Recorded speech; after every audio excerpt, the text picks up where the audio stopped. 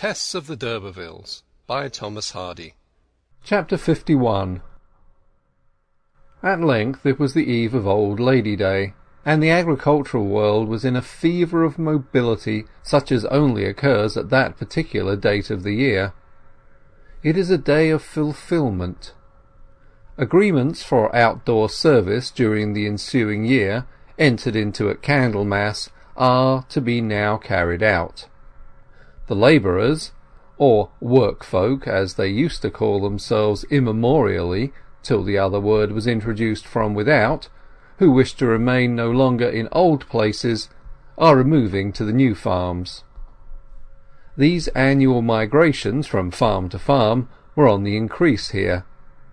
When Tess's mother was a child, the majority of the field folk about Marlott had remained all their lives on one farm, which had been the home also of their fathers and grandfathers. But latterly the desire for yearly removal had risen to a high pitch. With the younger families it was a pleasant excitement which might possibly be an advantage. The Egypt of one family was the land of promise to the family who saw it from a distance, till by residence there it became in turn their Egypt also, and so they changed and changed. However, all the mutations so increasingly discernible in village life did not originate entirely in the agricultural unrest. A depopulation was also going on. The village had formerly contained, side by side with the agricultural labourers, an interesting and better informed class, ranking distinctly above the former, the class to which Tess's father and mother had belonged, and including the carpenter, the smith, the shoemaker, the huckster, together with nondescript workers other than farm labourers, a set of people who owed a certain stability of aim and conduct to the fact of their being life-holders like Tess's father, or copy holders, or occasionally small freeholders. But as the long holdings fell in, they were seldom again let to similar tenants, and were mostly pulled down, if not absolutely required by the farmer for his hands. Cottagers who were not directly employed on the land were looked upon with disfavour, and the banishment of some starved the trade of others, who were thus obliged to follow. These families, who had formed the backbone of the village life in the past, who were the depositories of the village traditions, had to seek refuge in the large centres. The process, humorously designated by statisticians as the tendency of the rural population towards the large towns, being really the tendency of water to flow uphill when forced by machinery. The cottage accommodation at Marlott having been in this manner considerably curtailed by demolitions, every house which remained standing was required by the agriculturist for his workpeople.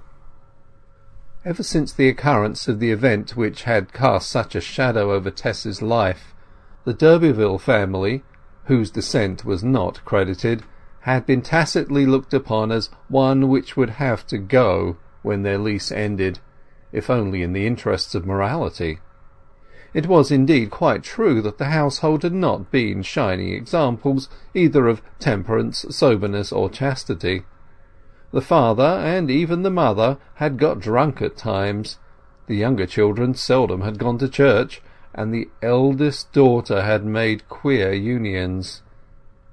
By some means the village had to be kept pure, so on this, the first Lady Day on which the Durbeyfields were expendable, the house, being roomy, was required for a carter with a large family, and Widow Joan, her daughters Tess and 'Liza Lu, the boy Abraham, and the younger children had to go elsewhere. On the evening preceding their removal it was getting dark betimes by reason of a drizzling rain which blurred the sky. As it was the last night they would spend in the village which had been their home and birthplace, Mrs Durbeyfield, 'Liza Lu, and Abraham had gone out to bid some friends good-bye, and Tess was keeping house till they should return. She was kneeling in the window bench, her face close to the casement, where an outer pane of rain water was sliding down the inner pane of glass. Her eyes rested on the web of a spider, probably starved long ago, which had been mistakenly placed on a corner where no flies ever came, and shivered in the slight draught through the casement. Tess was reflecting on the position of the household in which she perceived her own evil influence. Had she not come home, her mother and the children might probably have been allowed to stay on as weekly tenants. But she had been observed almost immediately on her return by some people of scrupulous character and great influence. They had seen her idling in the churchyard, restoring as well as she could with a little trowel a baby's obliterated grave. By this means they had found that she was living here again. Her mother was scolded for harbouring her. Sharp retorts had ensued from Joan, who had independently offered to leave at once. She had been taken at her word, and here was the result. I ought never to have come home, said Tess to herself bitterly. She was so intent upon these thoughts that she had hardly at first took note of a man in a white mackintosh whom she saw riding down the street. Possibly it was owing to her face being near to the pane that he saw her so quickly, and directed his horse so close to the cottage front that his hoofs were almost upon the narrow borders for plants growing under the wall. It was not till he touched the window with his riding crop that she observed him. The rain had nearly ceased, and she opened the casement in obedience to his gesture. "Didn't you see me?" asked d'Urberville. "I was not attending," she said. "I heard you, I believe, though I fancied it was a carriage and horses. I was in a sort of dream." "Ah, you heard the d'Urberville coach, perhaps? You know the legend, I suppose?" "No. My Somebody was going to tell it to me once, but didn't." "If you are a genuine d'Urberville I ought not to tell you either, I suppose. As for me, I'm a sham one, so it doesn't matter. It is rather dismal. It is that this sound of a non existent coach can only be heard by one of d'Urberville blood, and it is held to be of ill omen to the one who hears it. It has to do with a murder committed by one of the family centuries ago." "Now you have begun it, finish it." "Very well. One of the family is said to have abducted some beautiful woman, who tried to escape from the coach in which he was carrying her off, and in the struggle he killed her, or she killed him, I forget which. Such is one version of the tale." "I see that your tubs and buckets are packed. Going away, aren't you?" "Yes, to morrow, Old Lady Day." "I heard you were, but I could hardly believe it. It seemed so sudden. Why is it?" "Father's was the last life on the property, and when that dropped we had no further right to stay, though we might perhaps have stayed as weekly tenants, if it had not been for me." "What about you?" "I'm not a proper woman. D'Urberville's face flushed. "What a blasted shame! Miserable snobs! May their dirty souls be burnt to cinders!" he exclaimed in tones of ironic resentment. "That's why you're going, is it? Turned out?" "We are not turned out exactly, but as they said we should have to go soon, it was best to go now everybody was moving, because there are better chances." "Where are you going to?" Kingsbere. We have taken rooms there. Mother is so foolish about father's people that she will go there." "But your mother's family are not fit for lodgings, and in a little hole of a town like that. Now why not come to my garden house at Trantridge? There are hardly any peltry now since my mother's death, but there's the house, as you know it, and the garden. It can be whitewashed in a day, and your mother can live there quite comfortably, and I will put the children to a good school. Really, I ought to do something for you." "But we have already taken the rooms at Kingsbere," she declared, "and we can wait there. Wait! For what? For that nice husband, no doubt. Now look here, Tess, I know what men are, and, bearing in mind the grounds of your separation, I am quite positive he will never make it up with you. Now, though I have been your enemy, I am your friend, even if you won't believe it. Come to this cottage of mine. We'll get up a regular colony of fowls, and your mother can attend them excellently, and the children can go to school." Tess breathed more and more quickly, and at length she said, "How do I know that you would do all this?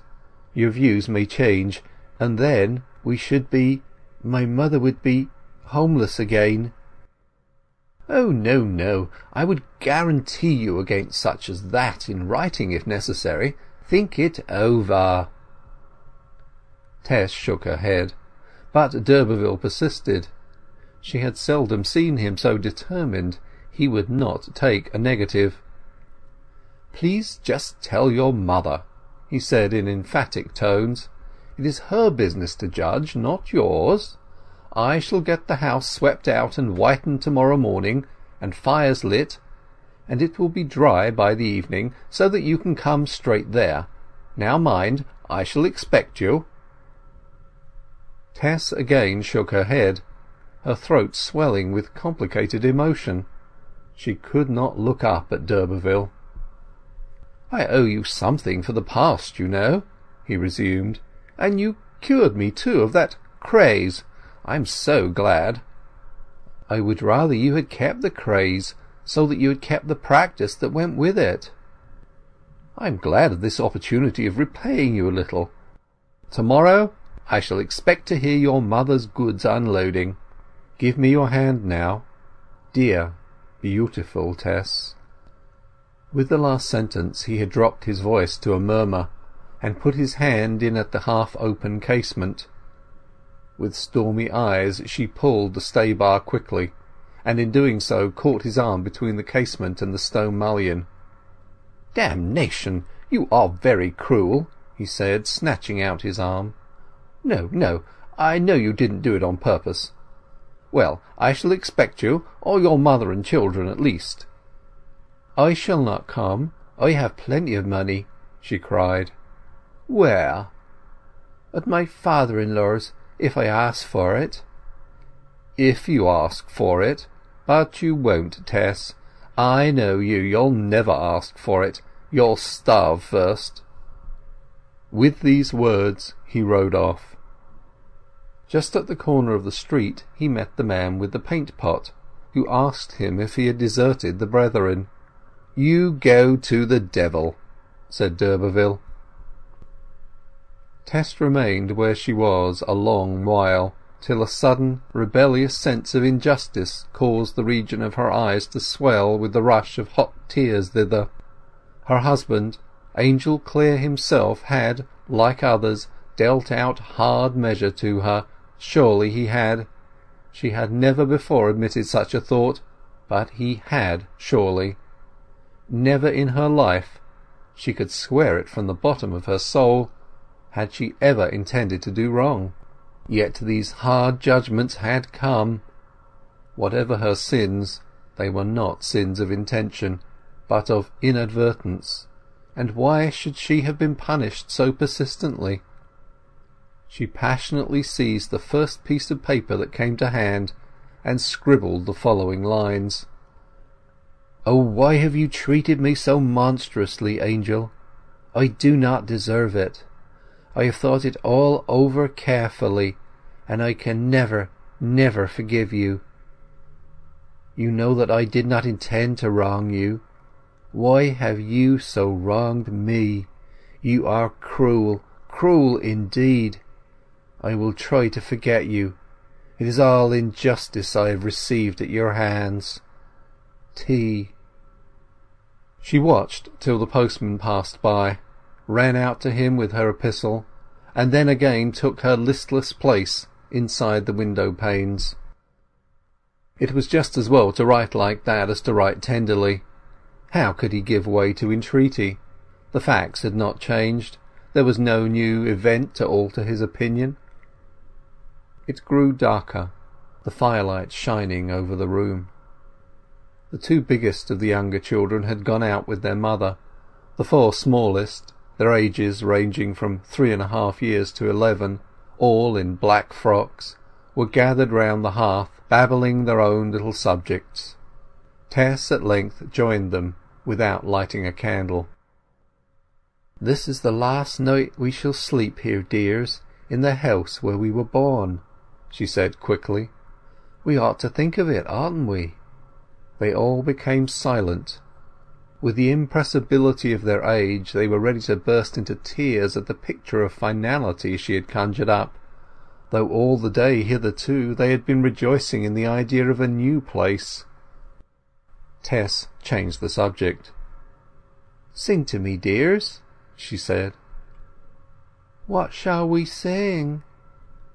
"Anything, you know. I don't mind." There was a momentary pause. It was broken first in one little tentative note; then a second voice strengthened it, and a third and a fourth chimed in unison, with words they had learned at the Sunday school. Here we suffer grief and pain, Here we meet to part again, In heaven we part no more. The four sang on with the phlegmatic passivity of persons who had long ago settled the question, and there being no mistake about it, felt that further thought was not required. With features strained hard to enunciate the syllables they continued to regard the centre of the flickering fire, the notes of the youngest straying over into the pauses of the rest. Tess turned from them and went to the window again. Darkness had now fallen without, and she put her face to the pane as though to peer into the gloom. It was really to hide her tears. If she could only believe what the children were singing, if she were only sure how different all would now be, how confidently she would leave them to Providence and their future kingdom! But in default of that it behoved her to do something, to be their Providence; for to Tess, as to not a few millions of others, there was a ghastly satire in the poet's lines: "Not in utter nakedness, but trailing clouds of glory do we come."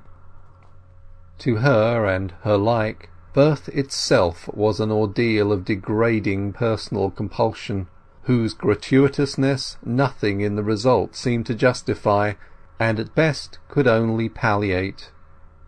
In the shades of the wet road she soon discerned her mother, with tall 'Liza Lu and Abraham. Mrs Durbeyfield's pattens clicked up to the door, and Tess opened it. "I see the tracks of a horse outside the door," said Joan. "Have somebody called?" "No," said Tess. The children by the fire looked gravely at her, and one murmured, "Why, Tess, the gentleman a horseback." "He didn't call," said Tess. "He spoke to me in passing." "Who was the gentleman?" asked her mother. "Your husband?" "No. He'll never, never come," answered Tess in stony hopelessness. "Then who was it?" "Oh, you needn't ask. You've seen him before, and so have I." "Ah! What did he say?" said Joan curiously. I will tell you when we are settled in our lodging at Kingsbere to morrow, every word." It was not her husband, she had said; yet a consciousness that in a physical sense this man alone was her husband seemed to weigh on her more and more. Chapter fifty-one. Tess of the d'Urbervilles by Thomas Hardy Chapter fifty-two. During the small hours of the next morning, while it was still dark, dwellers near the highways were conscious of a disturbance of their night's rest by rumbling noises intermittently continuing till daylight, noises as certain to reoccur in this particular first week of the month as the voice of the cuckoo in the third week of the same. They were the preliminaries of the general removal the passing of the empty waggons and teams to fetch the goods of the migrating families, for it was always by the vehicle of the farmer who required his services that the hired man was conveyed to his destination.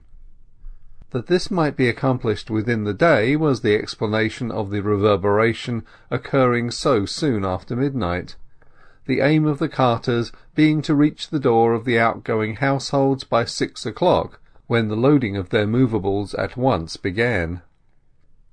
But to Tess and her mother's household no such anxious farmer sent his team. They were only women, they were not regular labourers, they were not particularly required anywhere. Hence they had to hire a waggon at their own expense, and got nothing sent gratuitously. It was a relief to Tess, when she looked out of the window that morning, to find that although the weather was windy and lowering, it did not rain, and that the waggon had come. A wet Lady Day was a spectre which removing families never forgot. Damp furniture, damp bedding, damp clothing accompanied it, and left a train of ills. Her mother, 'Liza Lu, and Abraham were also awake, but the younger children were let sleep on. The four breakfasted by the thin light, and the house ridding was taken in hand. It proceeded with some cheerfulness, a friendly neighbour or two assisting. When the large articles of furniture had been packed in position, a circular nest was made of the beds and bedding, in which Joan Durbeyfield and the young children were to sit through the journey. After loading there was a long delay before the horses were brought, those having been unharnessed during the ridding; but at length, about two o'clock, the whole was under way, the cooking pot swinging from the axle of the waggon, Mrs Durbeyfield and family at the top, the matron having in her lap, to prevent injury to its works, the head of the clock, which, at any exceptional lurch of the waggon struck one or one and a half in hurt tones. Tess and the next eldest girl walked alongside till they were out of the village. They had called on a few neighbours that morning and the previous evening, and some came to see them off, all wishing them well, though in their secret hearts hardly expecting welfare possible to such a family, harmless as the Durbeyfields were to all except themselves. Soon the equipage began to ascend to higher ground, and the wind grew keener with the change of level and soil. The day being the sixth of April, the Durbeyfield waggon met many other waggons with families on the summit of the load, which was built on a well nigh unvarying principle, as peculiar, probably, to the rural labourer as the hexagon to the bee.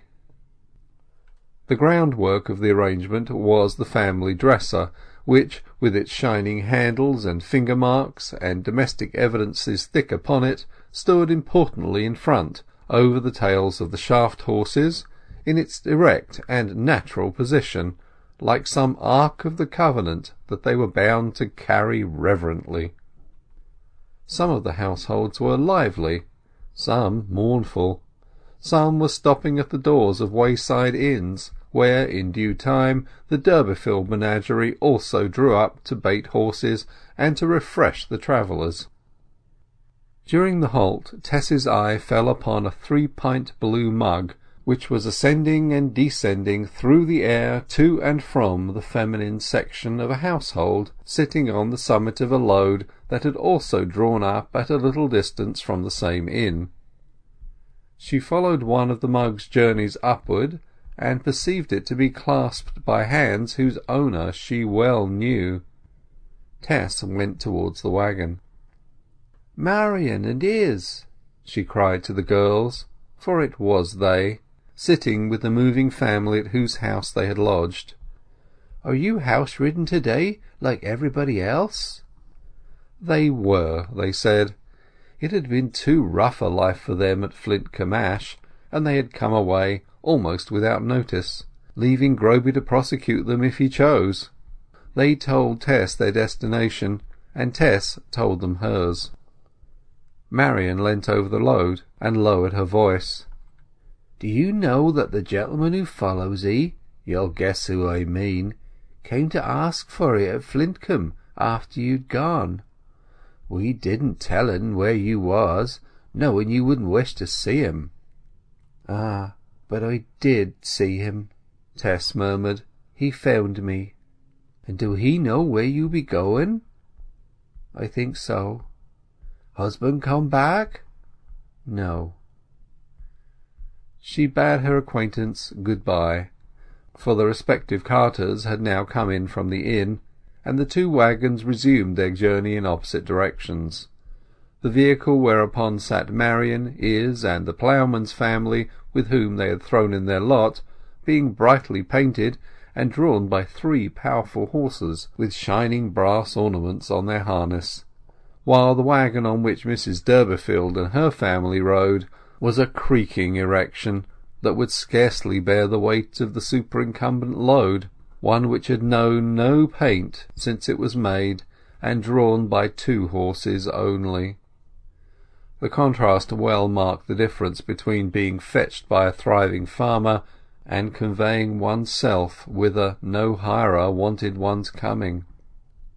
The distance was great, too great for a day's journey, and it was with the utmost difficulty that the horses performed it. Though they had started so early, it was quite late in the afternoon when they had turned the flank of an eminence which formed part of the upland called Greenhill. While the horses stood to stale and breathe themselves, Tess looked around. Under the hill, and just ahead of them, was the half-dead townlet of their pilgrimage, Kingsbere, where lay those ancestors of whom her father had spoken and sung to painfulness. Kingsbere, the spot of all spots in the world which would be considered the d'Urbervilles' home, since they had resided there for full five hundred years. A man could be seen advancing from the outskirts towards them, and when he beheld the nature of their waggon load he quickened his steps. "You be the woman they call Mrs Durbeyfield, I reckon," he said to Tess's mother, who had descended to walk the remainder of the way. She nodded. "The widow of the late Sir John d'Urberville, poor nobleman, if I care for my rights, and returning to the domain of his forefathers." "Oh! Well, I know nothing about that but if you be Mrs Durbeyfield I am sent to tell 'ee that the rooms you wanted be let. We didn't know that you was coming till we got your letter this morning, when 'twas too late. But no doubt you can get other lodgings somewhere." The man had noticed the face of Tess, which had become ash pale at his intelligence. Her mother looked hopelessly at fault. "What shall we do now, Tess?" she said bitterly. "Here's a welcome to your ancestors' lands. However, let's try further." They moved on into the town, and tried with all their might, Tess remaining with the waggon to take care of the children, whilst her mother and 'Liza Lu made inquiries. At the last return of Joan to the vehicle, an hour later, when her search for accommodation had still been fruitless, the driver of the waggon said the goods must be unloaded, as the horses were half dead, and he was bound to return part of the way at least that night. "Very well, unload it there," said Joan recklessly. "I'll get shelter somewhere." The waggon had drawn up under the churchyard wall, in a spot screened from view, and the driver, nothing loth, soon hauled down the poor heap of household goods. This done, she paid him, reducing herself almost to her last shilling thereby, and he moved off and left them, only too glad to get out of further dealings with such a family. It was a dry night, and he guessed that they would come to no harm. Tess gazed desperately at the pile of furniture. The cold sunlight of this spring evening peered invidiously upon the crocks and kettles, upon the bunches of dried herbs shivering in the breeze, upon the brass handles of the dresser, upon the wicker cradle that they had all been rocked in, and upon the well-rubbed clock-case, all of which gave out the reproachful gleam of indoor articles abandoned to the vicissitudes of a roofless exposure, for which they were never made. Round about were deep parked hills and slopes, now cut up into little paddocks, and the green foundations that showed where the d'Urberville mansion had once stood; also an outlying stretch of Egdon Heath that had always belonged to the estate. Hard by, the aisle of the church, called the d'Urberville aisle, looked on imperturbably. "Isn't your family vault your own freehold?" asked Tess's mother, as she returned from a reconnoitre of the church and graveyard.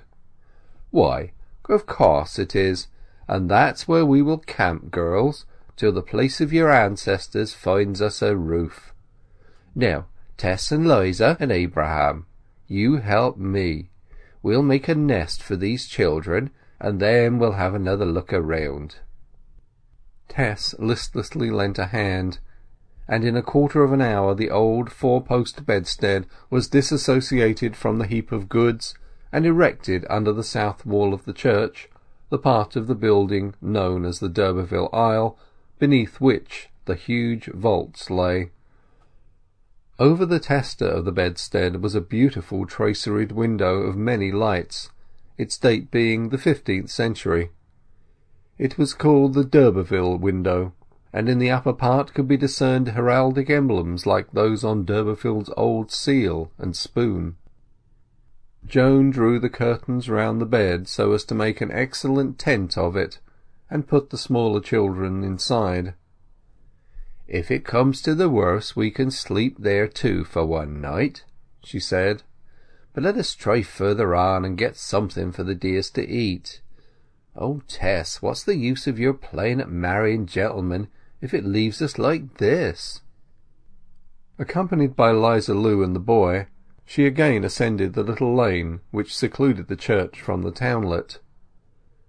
As soon as they got into the street they beheld a man on horseback gazing up and down. "Ah, I'm looking for you," he said, riding up to them. This is indeed a family gathering on the historic spot. It was Alec d'Urberville. "Where is Tess?" he asked. Personally, Joan had no liking for Alec. She cursorily signified the direction of the church, and went on, d'Urberville saying that he would see them again, in case they should still be unsuccessful in their search for shelter, of which he had just heard. When they had gone d'Urberville rode to the inn, and shortly after came out on foot. In the interim Tess, left with the children inside the bedstead, remained talking with them a while, till, seeing that no more could be done to make them comfortable just then, she walked about the churchyard, now beginning to be embrowned by the shades of nightfall. The door of the church was unfastened, and she entered it for the first time in her life. Within the window, under which the bedstead stood, were the tombs of the family, covering in their dates several centuries.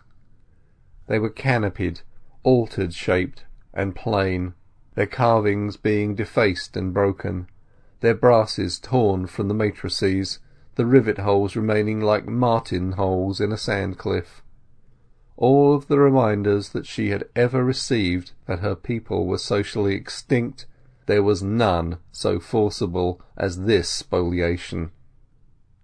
She drew near to a dark stone on which was inscribed Ostium Sepulchri Antiquae Familiae d'Urberville. Tess did not read Church Latin like a cardinal, but she knew that this was the door of her ancient sepulchre and that the tall knights of whom her father had chanted in his cups lay inside. She musingly turned to withdraw, passing near an altar tomb, the oldest of them all, on which was a recumbent figure. In the dusk she had not noticed it before, and would hardly have noticed it now but for an odd fancy that the effigy moved. As soon as she drew close to it she discovered all in a moment that the figure was a living person, and the shock to her sense of not having been alone was so violent that she was quite overcome, and sank down nigh to fainting; not, however, till she had recognized Alec d'Urberville in the form. He leapt off the slab and supported her. I saw you come in, he said, smiling, and got up there not to interrupt your meditations. A family gathering, is it not, with these old fellows under us here? Listen. He stamped with his heel heavily on the floor, whereupon there arose a hollow echo from below. That shook 'em a bit, I'll warrant, he continued. And you thought I was the mere stone reproduction of one of them. But no, the old order changeth. The little finger of the sham d'Urberville can do more for you than the whole dynasty of the real underneath. Now command me, what shall I do? Go away, she murmured.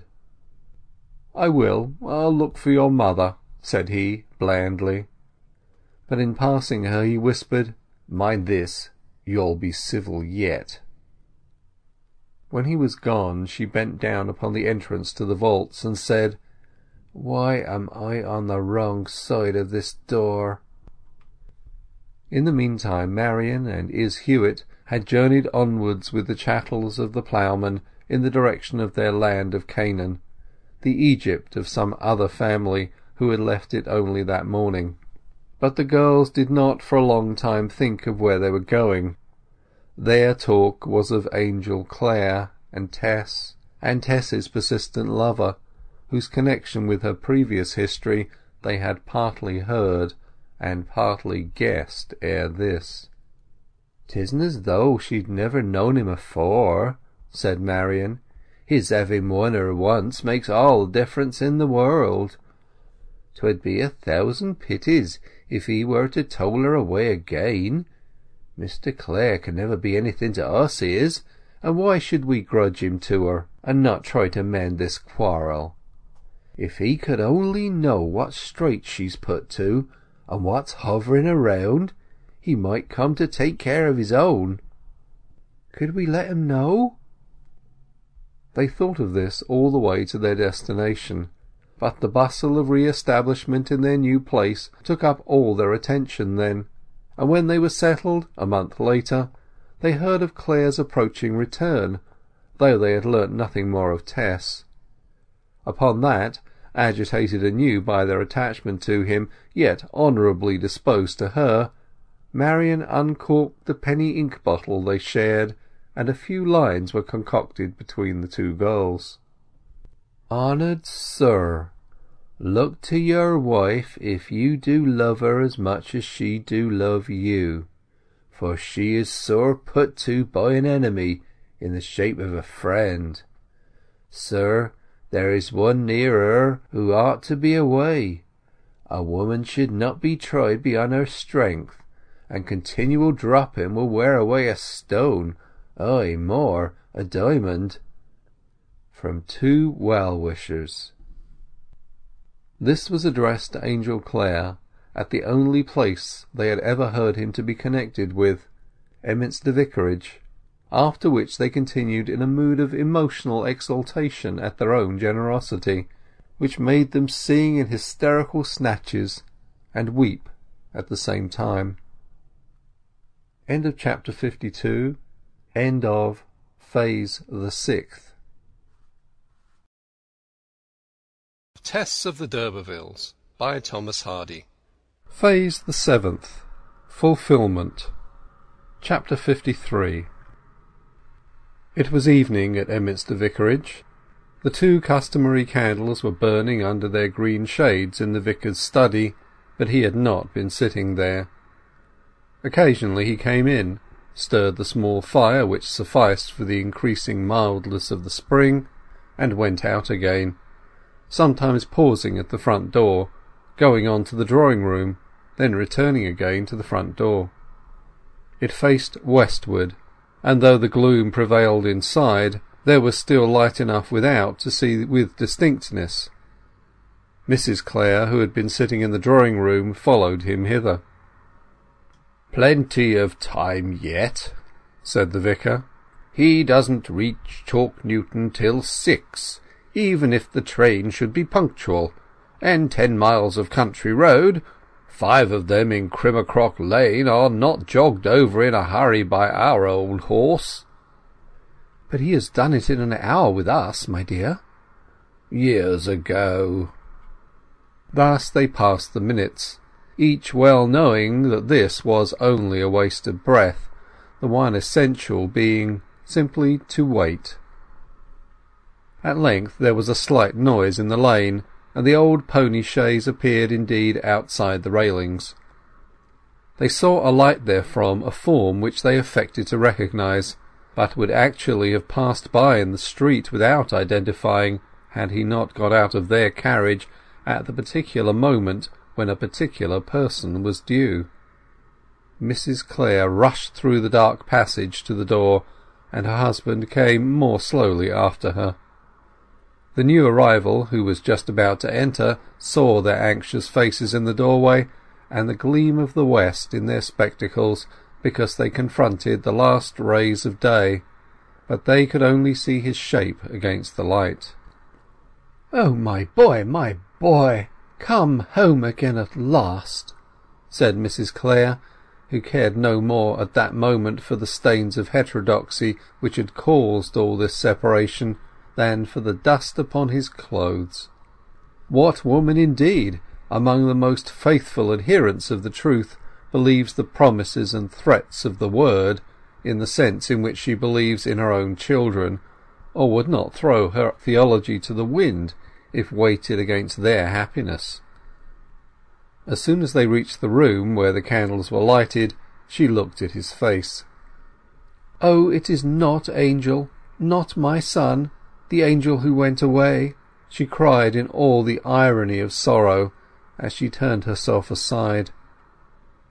His father, too, was shocked to see him, so reduced was that figure from its former contours by worry and the bad season that Clare had experienced in the climate to which he had so rashly hurried in his first aversion to the mockery of events at home.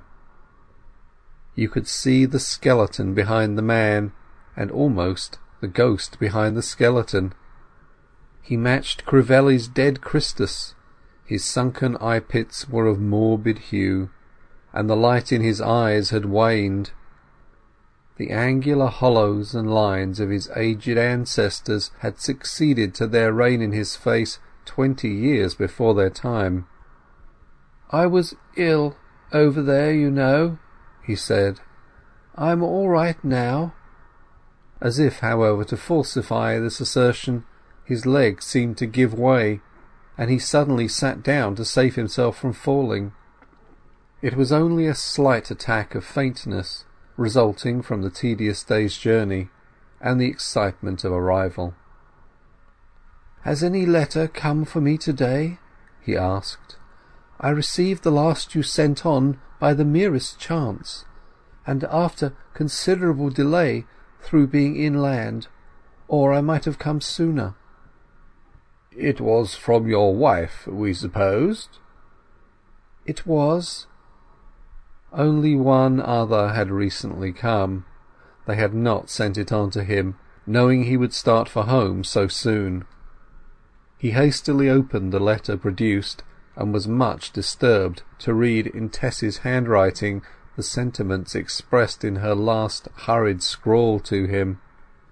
"Oh, why have you treated me so monstrously, Angel? I do not deserve it. I have thought it all over carefully and I can never, never forgive you. You know that I did not intend to wrong you. Why have you so wronged me? You are cruel, cruel indeed. I will try to forget you. It is all injustice I have received at your hands. T. It is quite true, said Angel, throwing down the letter. Perhaps she will never be reconciled to me. "Don't, Angel, be so anxious about a mere child of the soil," said his mother. "Child of the soil! Well, we are all children of the soil. I wish she were so in the sense you mean. But let me now explain to you what I have never explained before, that her father is a descendant in the male line of one of the oldest Norman houses like a good many others who lead obscure agricultural lives in our villages and are dubbed sons of the soil. He soon retired to bed, and the next morning, feeling exceedingly unwell, he remained in his room pondering. The circumstances amid which he had left Tess were such that though, while on the south of the equator and just in receipt of her loving epistle, it had seemed the easiest thing in the world to rush back into her arms the moment he chose to forgive her. Now that he had arrived it was not so easy as it had seemed. She was passionate, and her present letter, showing that her estimate of him had changed under his delay, too justly changed, he sadly owned, made him ask himself if it would be wise to confront her unannounced in the presence of her parents. Supposing that her love had indeed turned to dislike during the last weeks of separation, a sudden meeting might lead to bitter words. Clare therefore thought it would be best to prepare Tess and her family by sending a line to Marlott announcing his return, and his hope that she was still living with them there, as he had arranged for her to do when he left England. He dispatched the inquiry that very day, and before the week was out there came a short reply from Mrs Durbeyfield, which did not remove his embarrassment, for it bore no address, though to his surprise it was not written from Marlott. Sir, I write these few lines to say that my daughter is away from me at present, and I am not sure when she will return, but I will let you know as soon as she do. I do not feel at liberty to tell you where she is temporarily biding, I should say that me and my family have left Marlott for some time. Yours, J. Durbeyfield. It was such a relief to Clare to hear that Tess was at least apparently well that her mother's stiff reticence as to her whereabouts did not long distress him. They were all angry with him evidently.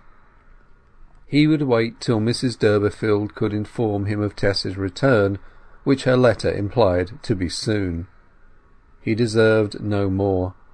His had been a love which alters when it alteration finds. He had undergone some strange experiences in his absence. He had seen the virtual Faustina in the literal Cornelia, a spiritual Lucretia in a corporeal Phryne. He had thought of the woman taken and set in the midst as one deserving to be stoned, and of the wife of Uriah being made a queen, and he had asked himself why he had not judged Tess constructively rather than biographically, by the will rather than by the deed. A day or two passed while he waited at his father's house for the promised second note from Joan Durbeyfield, and indirectly to recover a little more strength. The strength showed signs of coming back, but there was no sign of Joan's letter. Then he hunted up the old letter sent on to him in Brazil, which Tess had written from Flintcomb and re-read it. The sentences touched him now as much as when he had first perused them. I must cry to you in my trouble. I have no one else. I think I must die if you do not come soon, or tell me to come to you. Please, please, not to be just, only a little kind to me. If you would come I could die in your arms. I would be well content to do that, if so be you had forgiven me. If you will send me one little line and say I am coming, I will bide on, Angel, oh, so cheerfully. Think how it do hurt my head not to see you ever, ever. Ah, if I could only make your dear heart ache one little minute of each day as mine does every day and all day long, it might lead you to show pity to your poor lonely one. I would be content, ay, glad, to live with you as your servant, if I may not as your wife so that I could only be near you and get glimpses of you and think of you as mine. I long for only one thing in heaven or earth or under the earth—to meet you, my own dear. Come to me, come to me, and save me from what threatens me." Clare determined that he would not believe in her more recent and severer regard of him, but would go and find her immediately. He asked his father if she had applied for any money during his absence. His father returned a negative, and then for the first time it occurred to Angel that her pride had stood in her way, and that she had suffered privation. From his remarks his parents now gathered the real reason of the separation, and their Christianity was such that, reprobates being their especial care, the tenderness towards Tess which her blood, her simplicity, even her poverty, had not engendered, was instantly excited by her sin. Whilst he was hastily packing together a few articles for his journey, he glanced over a poor plain missive, also lately come to hand, the one from Marian and Izz Huett, beginning, "Honoured Sir, look to your wife if you do love her as much as she do love you," and signed from two well-wishers. End of chapter 53 Chapter 54 In a quarter of an hour Clare was leaving the house, whence his mother watched his thin figure as it disappeared into the street. He had declined to borrow his father's old mare, well knowing of its necessity to the household. He went to the inn, where he hired a trap, and could hardly wait during the harnessing. In a very few minutes after he was driving up the hill out of the town, which, three or four months earlier in the year, Tess had descended with such hopes and ascended with such shattered purposes. Benvill Lane soon stretched before him, its hedges and trees purple with buds. But he was looking at other things, and only recalled himself to the scene sufficiently to enable him to keep the way. In something less than an hour and a half he had skirted the south of the King's Hintock estates, and ascended to the untoward solitude of Cross in Hand, the unholy stone whereupon Tess had been compelled by Alec d'Urberville, in his whim of reformation, to swear the strange oath that she would never wilfully tempt him again. The pale and blasted nettle stems of the preceding year even now lingered nakedly in the banks, young green nettles of the present spring growing from their roots. Hence he went along the verge of the upland overhanging the other Hintocks, and turning to the right plunged into the bracing calcareous region of Flintcomb the address from which she had written to him in one of her letters, and which he supposed to be the place of sojourn referred to by her mother. Here, of course, he did not find her. What added to his depression was the discovery that no Mrs Clare had ever been heard of by the cottagers or by the farmer himself, though Tess was remembered well enough by her Christian name.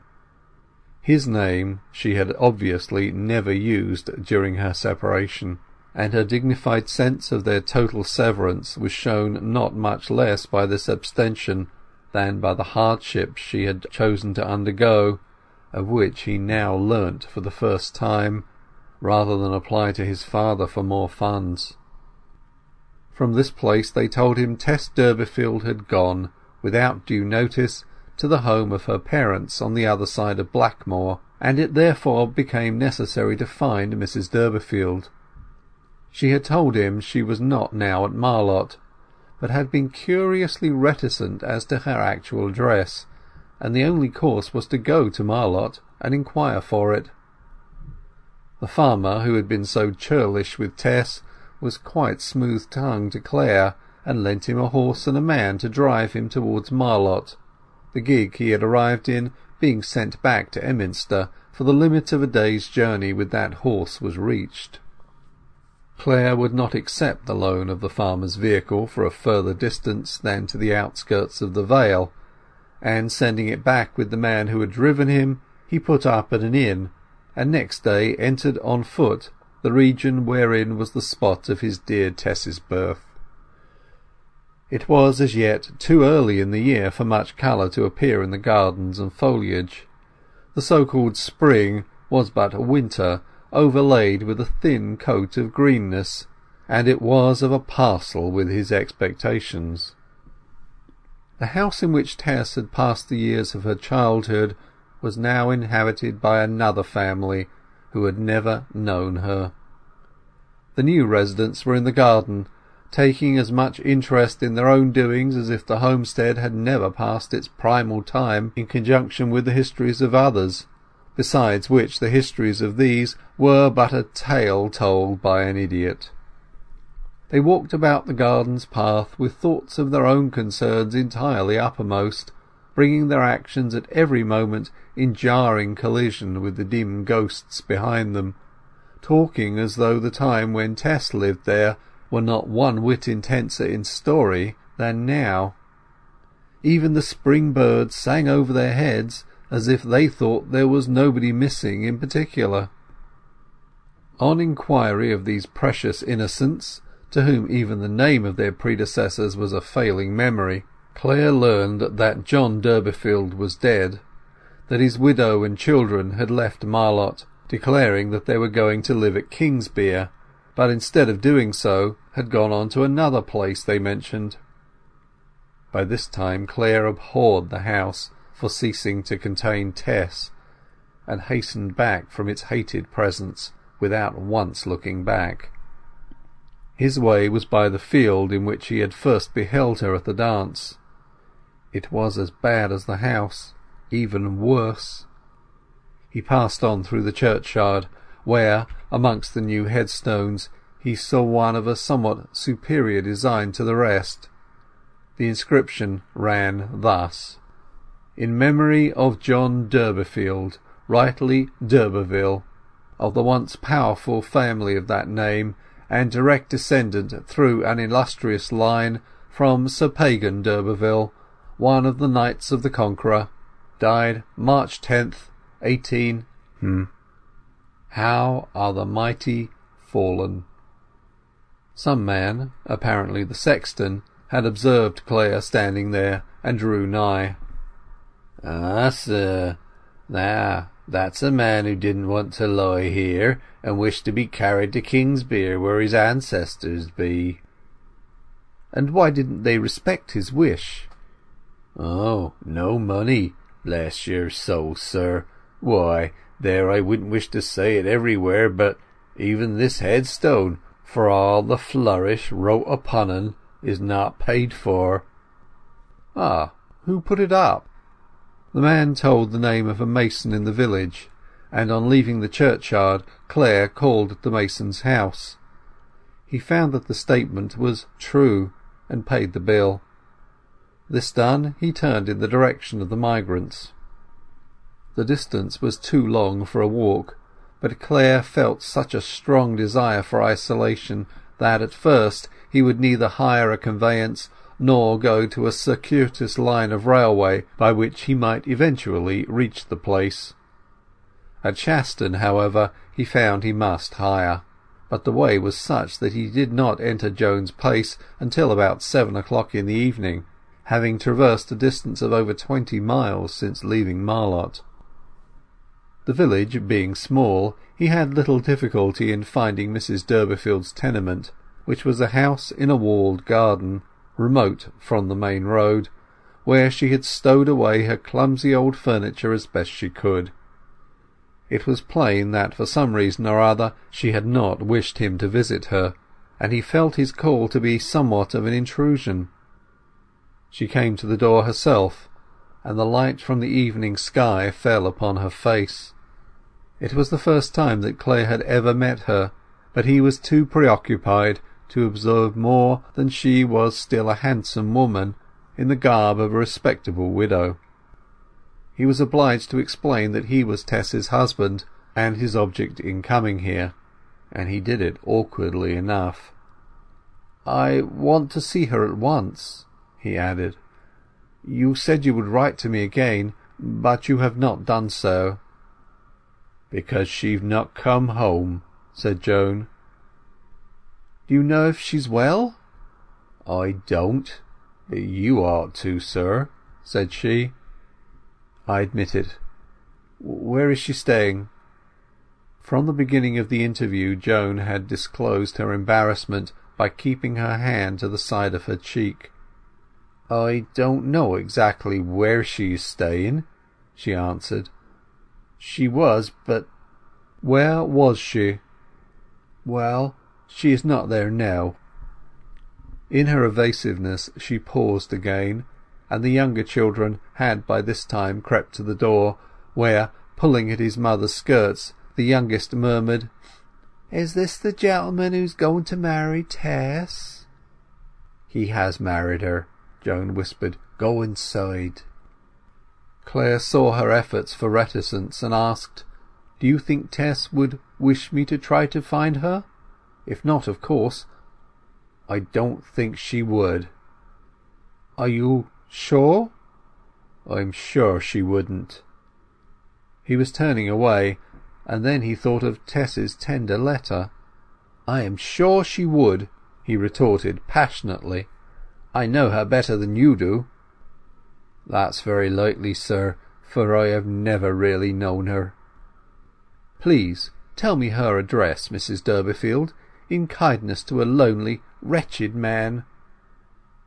Tess's mother again restlessly swept her cheek with her vertical hand, and seeing that he suffered, she at last said in a low voice, "She is at Sandbourne." "Ah, where there? Sandbourne has become a large place, they say."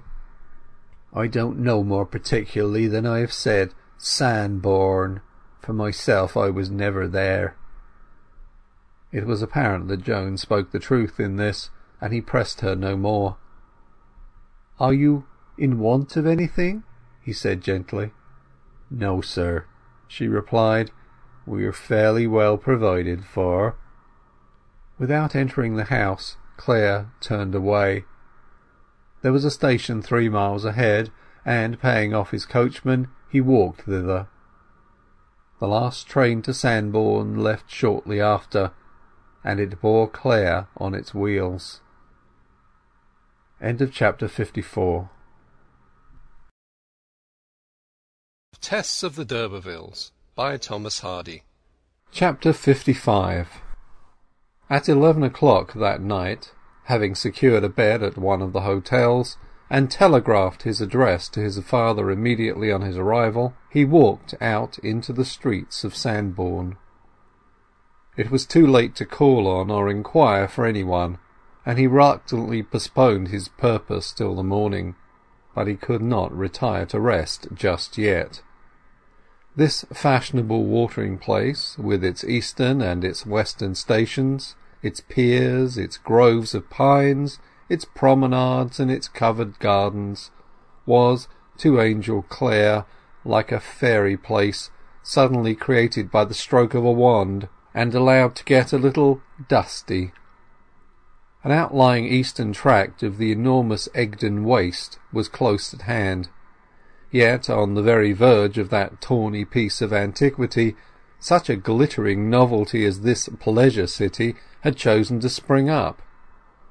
Within the space of a mile from its outskirts every irregularity of the soil was prehistoric, every channel an undisturbed British trackway, not a sod having been turned there since the days of the Caesars.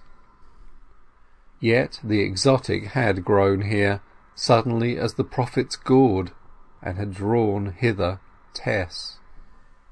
By the midnight lamps he went up and down the winding way of this new world in an old one, and could discern between the trees and against the stars the lofty roofs, chimneys, gazebos, and towers of the numerous fanciful residences of which the place was composed.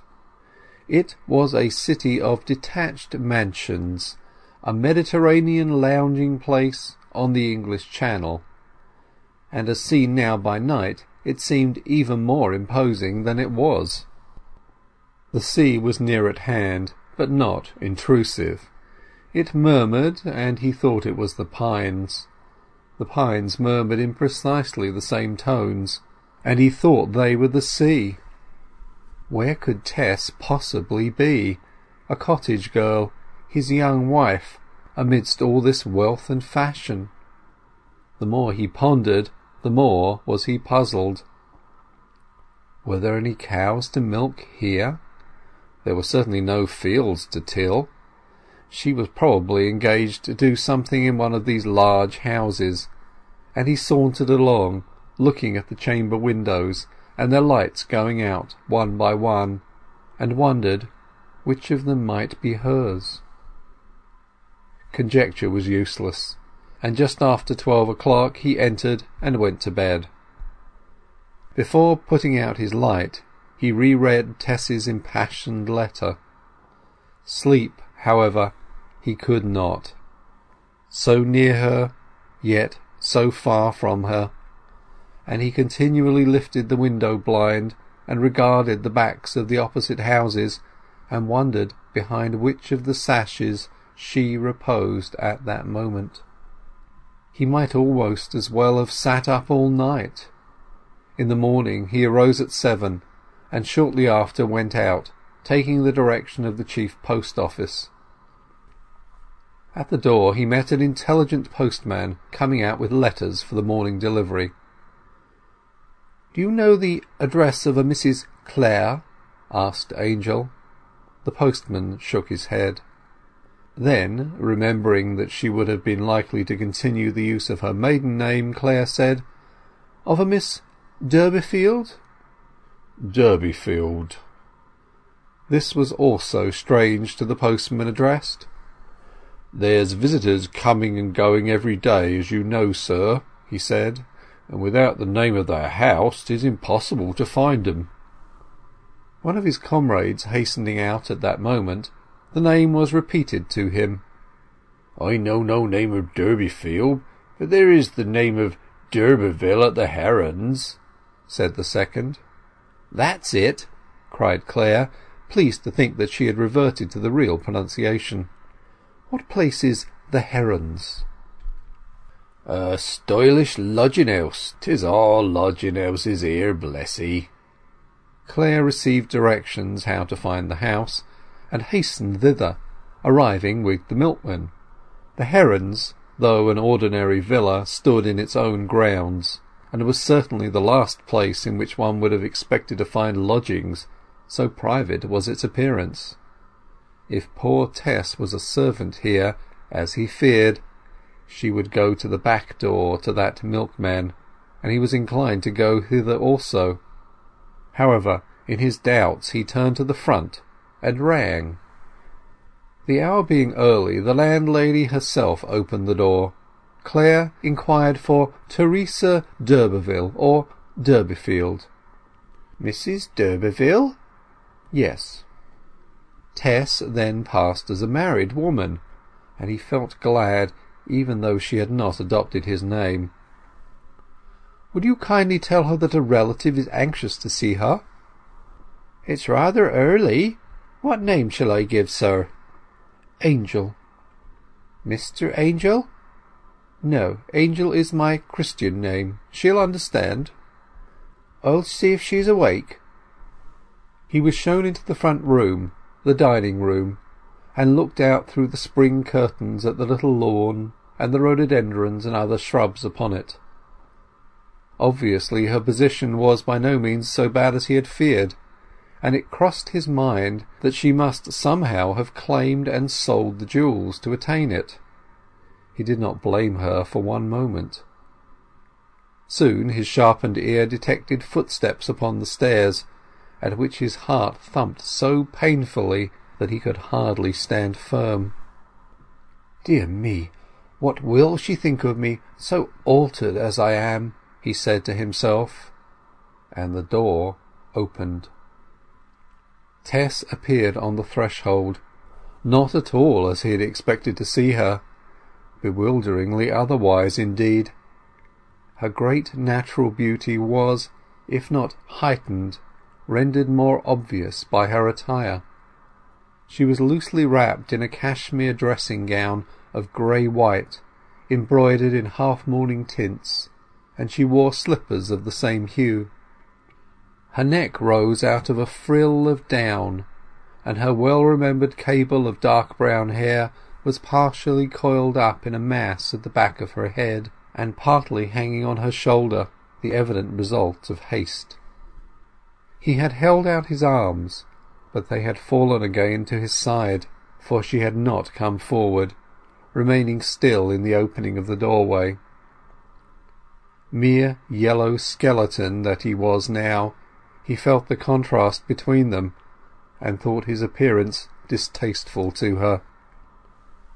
"Tess," he said huskily, "can you forgive me for going away?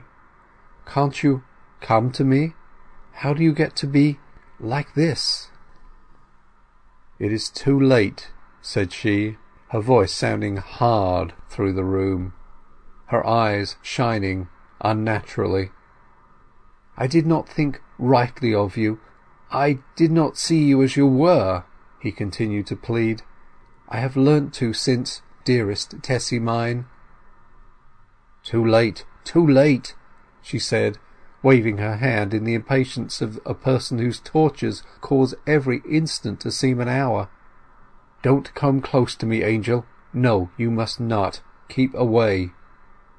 "But don't you love me, my dear wife, because I have been so pulled down by illness? You are not so fickle. I am come on purpose for you. My mother and father will welcome you now."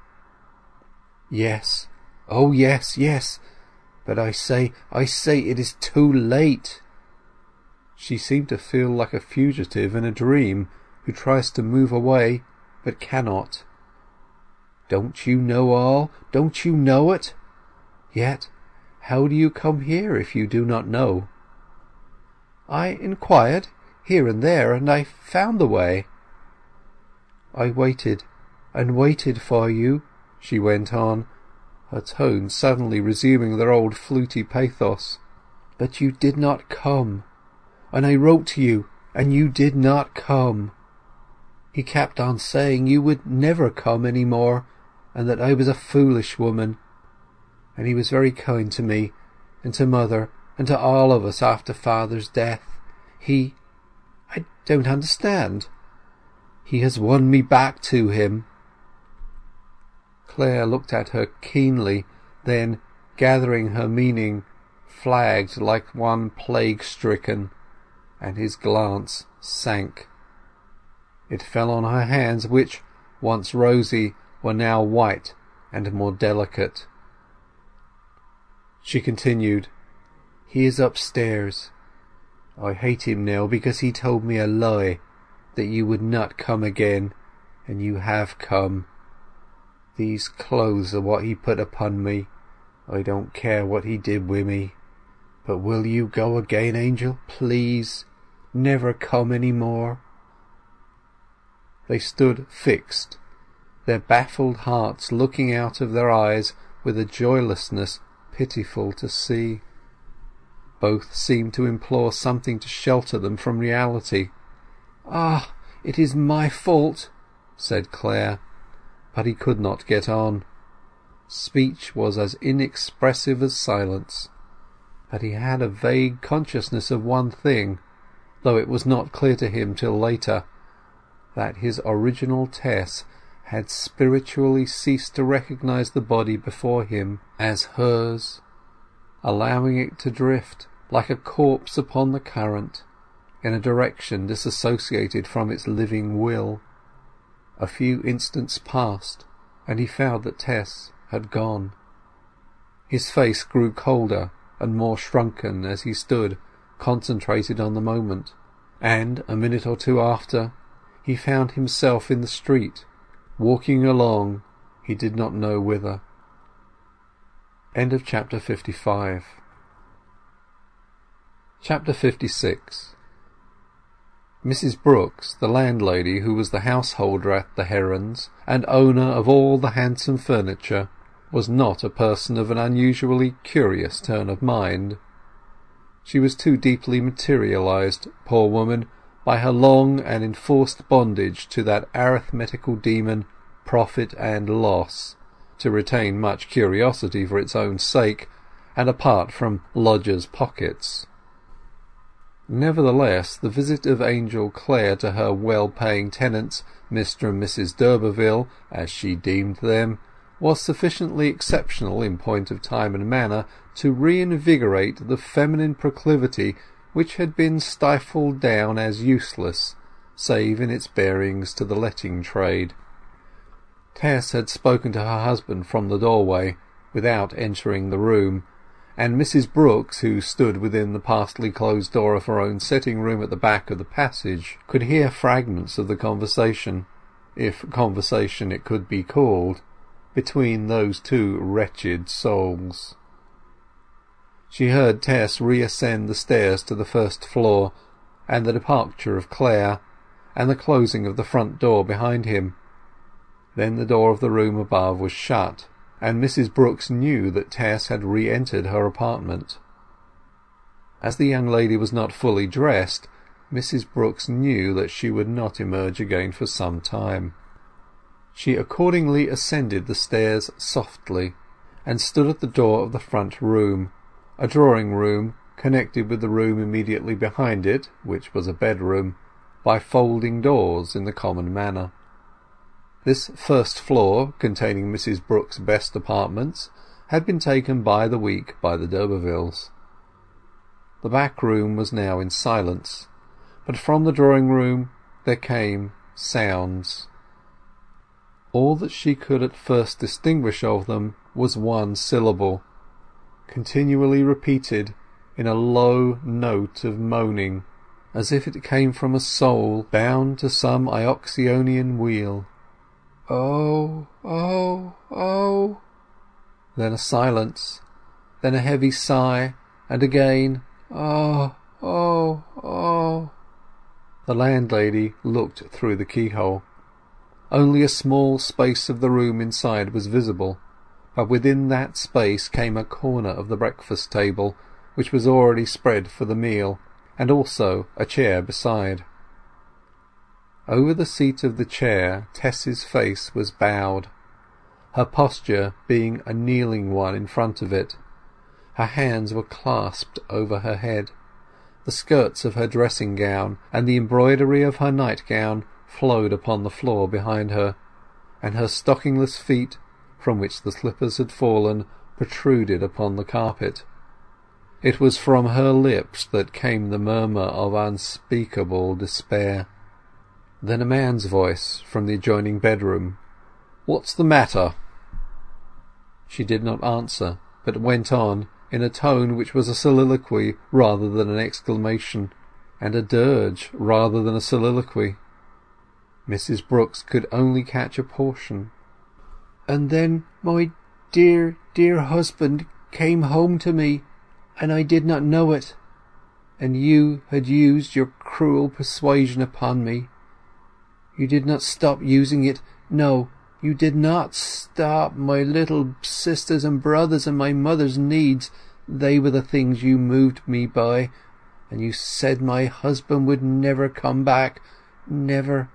And you taunted me and said what a simpleton I was to expect him. And at last I believed you and gave way. And then he came back. Now he is gone, gone a second time, and I've lost him now for ever, and he will not love me the littlest bit ever any more, only hate me. Oh yes, I have lost him now, again, because of you. In writhing with her head on the chair, she turned her face towards the door, and Mrs Brooks could see the pain upon it, and that her lips were bleeding from the clench of her teeth upon them and that the long lashes of her closed eyes stuck in wet tags to her cheeks. And she continued, "And he is dying. He looks as if he is dying, and my sin will kill him and not kill me. Oh, you have torn my life all to pieces, made me be what I prayed you in pity not to make me be again. My own true husband will never, never, Oh God, I cannot bear this, I cannot!" There were more and sharper words from the man. Then a sudden rustle. She had sprung to her feet. Mrs Brooks, thinking that the speaker was coming to rush out of the door, hastily retreated down the stairs. She need not have done so, however, for the door of the sitting room was not opened. But Mrs Brooks felt it unsafe to watch on the landing again, and entered her own parlour below. She could hear nothing through the floor, though she listened intently, and thereupon went to the kitchen to finish her interrupted breakfast. Coming up presently to the front room on the ground floor, she took up some sewing, waiting for her lodgers to ring that she might take away the breakfast, which she meant to do herself, to discover what was the matter, if possible. Overhead, as she sat, she could now hear the floorboards slightly creak, as if someone were walking about, and presently the movement was explained by the rustle of garments against the banisters, the opening and the closing of the front door, and the form of Tess passing to the gate on her way into the street. She was fully dressed now in the walking costume of a well-to-do young lady in which she had arrived, with the sole addition that over her hat and black feathers a veil was drawn. Mrs Brooks had not been able to catch any word of farewell, temporary or otherwise, between her tenants at the door above. They might have quarrelled, or Mr d'Urberville might still be asleep, for he was not an early riser. She went into the back room, which was more especially her own apartment, and continued her sewing there. The lady lodger did not return, nor did the gentleman ring his bell. Mrs Brooks pondered on the delay, and on what possible relation the visitor who had called so early bore to the couple upstairs. In reflecting, she leant back in her chair.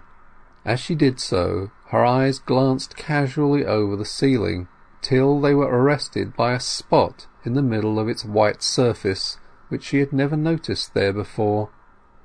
It was about the size of a wafer when she first observed it, but it speedily grew as large as the palm of her hand, and then she could perceive that it was red. The oblong white ceiling, with this scarlet blot in the midst, had the appearance of a gigantic ace of hearts. Mrs Brooks had strange qualms of misgiving. She got upon the table and touched the spot in the ceiling with her fingers. It was damp, and she fancied that it was a blood stain. Descending from the table she left the parlour and went upstairs, intending to enter the room overhead, which was the bedchamber at the back of the drawing-room but, nerveless woman as she had now become, she could not bring herself to attempt the handle. She listened.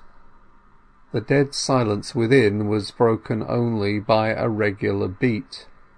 Drip, drip, drip.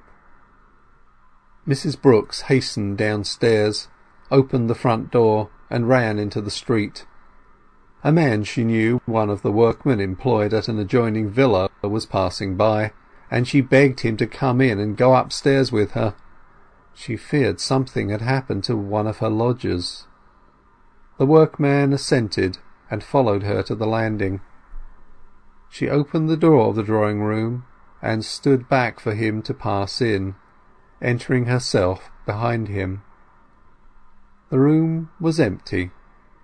The breakfast, a substantial repast of coffee, eggs, and cold ham, lay spread upon the table untouched as when she had taken it up, excepting that the carving knife was missing.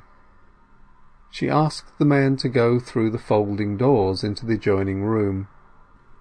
He opened the doors, entered a step or two, and came back almost instantly with a rigid face. "My good God! The gentleman in bed is dead!" I think he has been hurt with a knife. A lot of blood had run down upon the floor. The alarm was soon given, and the house, which had lately been so quiet, resounded with the tramp of many footsteps, a surgeon among the rest. The wound was small, but the point of the blade had touched the heart of the victim, who lay on his back, pale, fixed, dead, as if he had scarcely moved after the infliction of the blow. In a quarter of an hour the news that a gentleman who was a temporary visitor to the town had been stabbed in his bed spread through every street and villa of the popular watering place. End of chapter 56 Tess of the d'Urbervilles by Thomas Hardy Chapter 57 Meanwhile, Angel Clare had walked automatically along the way by which he had come, and, entering his hotel, sat down over the breakfast, staring at nothingness. He went on eating and drinking unconsciously till, on a sudden, he demanded his bill, having paid which he took his dressing bag in his hand, the only luggage he had brought with him, and went out. At the moment of his departure a telegram was handed to him, a few words from his mother, stating that they were glad to know his address, and informing that his brother Cuthbert had proposed to and been accepted by Mercy Chant. Clare crumpled up the paper and followed the route to the station. Reaching it he found that there would be no train leaving for an hour or more. He sat down to wait, and having waited a quarter of an hour felt that he could wait there no longer. Broken in heart and numbed, he had nothing to hurry for, but he wished to get out of a town which had been the scene of such inexperience, and turned to walk towards the first station onward, and let the train pick him up there. The highway that he followed was open, and, at a little distance, dipped into a valley, across which it could be seen running from edge to edge. He had traversed the greater part of this depression, and was climbing the western acclivity, when, pausing for breath, he unconsciously looked back.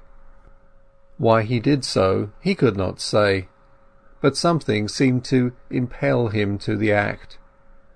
The tape-like surface of the road diminished in his rear as far as he could see, and as he gazed a moving spot intruded on the white vacuity of its perspective. It was a human figure, running. Clare waited with a dim sense that somebody was trying to overtake him. The form descending the incline was a woman's, yet so entirely was his mind blinded to the idea of his wife's following him that even when she came nearer he did not recognize her under the totally changed attire in which he now beheld her. It was not till she was quite close that he could believe her to be Tess.